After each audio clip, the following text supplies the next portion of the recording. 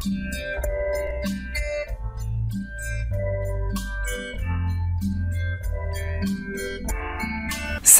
Strike নিয়ে ভোটের মুখে কেন পরাক্রম পর্ব? গোপন অভিযান থাকেনি গোপনে। প্রচার শুরু হয়ে গিয়েছিল দু বছর আগেই। লোকসভা ভোটের আগে এবার মহা ধুমধাম সার্জিক্যাল স্ট্রাইক নিয়ে আজ তিন দিনের পরাক্রম পর্ব। পালন শুরু হলো দেশের একান্নটি শহরে। প্রধানমন্ত্রী নরেন্দ্র মোদী হাজির ছিলেন যোধপুরে। সেখানে বিমানবন্দরে নেয় বায়ুসেনার গার্ড অব অনার। এরপরে সার্জিক্যাল স্ট্রাইকের দ্বিতীয় বর্ষপূর্তি উপলক্ষে উদ্বোধন করেন পরাক্রম পর্ব প্রদর্শনীর। গুজরাতে বার্তা লেখেন বীর জওয়ানদের শ্রদ্ধা জানিয়ে। ফুল দেন কোনার্ক যুদ্ধ স্মারকে। টিভি চ্যানেলগুলোতে ঢালাও করে প্রচার চলে এসবের। ভারতীয় বাহিনী দুই হাজার ষোলোর আঠাশ সেপ্টেম্বর রাতে নিয়ন্ত্রণ রেখা ওপারে গিয়ে জঙ্গিদের ষাটটি লঞ্চিং প্যাড গুড়িয়ে দিয়েছে বলে তার পরের দিন ঘোষণা করেছিল মোদী সরকার। বিরোধীরা বলছেন, ভোটে ফয়দা পেতেই পরাক্রম পর্ব নিয়ে এত হইচই। সেনাবাহিনীর একটি অংশ পছন্দ করছে না এসব।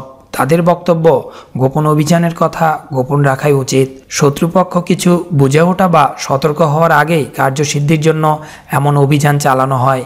এ নিয়ে প্রচার চললে ভবিষ্যতে প্রতিপক্ষকে হতচকিত করে দেওয়ার সুযোগ কমে যায়।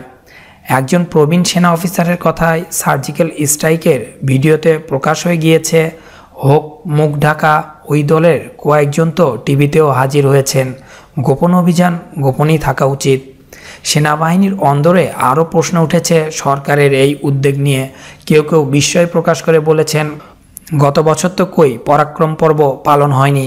এবছরই প্রতিরক্ষা মন্ত্রক হঠাৎ করে নির্দেশ দিয়েছে সার্জিক্যাল স্ট্রাইকের দ্বিতীয় বর্ষপূর্তি বড় করে উদযাপন করতে। দেশের একান্নটি শহরে সেই নির্দেশ মেনে জম্মুতে আজ দুই হাজার ষোলোর ওই অভিযানে ব্যবহৃত সাজ সরঞ্জাম নিয়ে প্রদর্শনীর আয়োজন করা হয় ছাত্রছাত্রীদের জন্য। আপাতত উপলক্ষ বায়ুসেনার ছিয়াশিতম বর্ষপূর্তি। আগামীকাল জম্মু কাশ্মীরের স্কুলগুলিতে পরাক্রম পর্ব পালন করতে বলা হয়েছে। পরাক্রম পর্বের অনুষ্ঠান কলকাতায় হবে কাল। যোধপুরে এদিন প্রধানমন্ত্রীর সঙ্গে ছিলেন প্রতিরক্ষামন্ত্রী নির্মলা সীতারামন ও মুখ্যমন্ত্রী বিজয় রাজে সিন্ধিয়া। প্রদর্শনী ঘুরে দেখার পর প্রধানমন্ত্রী ও প্রতিরক্ষামন্ত্রী যান যোধপুর বায়ুসেনা ঘাঁটিতে তিন বাহিনীর প্রধানের সঙ্গে সম্মেলনে যোগ দিতে। দুই হাজার পনেরোতে যা হয়েছিল দিল্লিতে, তারপরে এই নিয়ে তিনবার এই বার্ষিক সম্মেলন হলো দিল্লির বাহিরে। দুই হাজার ষোলোতে হয় রণতরী আইএনএস বিক্রমাদিত্যে, পরের বছর দেহরাদুনের মিলিটারি একাডেমিতে। এবছর বেছে নেওয়া হলো প্রতিরক্ষার দিক দিয়ে গুরুত্বপূর্ণ পাকিস্তান লাগোয়া রাজ্যের ঘাঁটিকে।